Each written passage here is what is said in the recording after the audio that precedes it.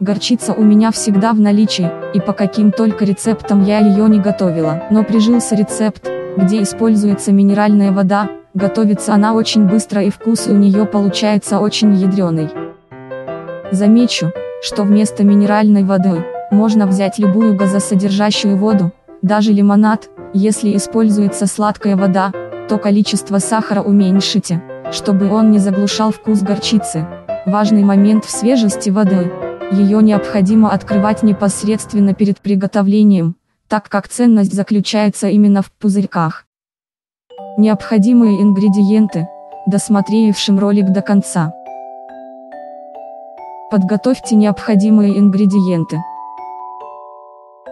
В стеклянную тару насыпьте порошок горчицы, добавьте соль и сахар, перемешайте. Влейте частями минеральную воду, каждый раз перемешивая. Консистенция горчицы должна получиться однородной, без комков, легко размешиваться ложкой, но не жидкой. Горчицу закройте крышкой, уберите в холодильник и через 4 часа можно подавать на стол.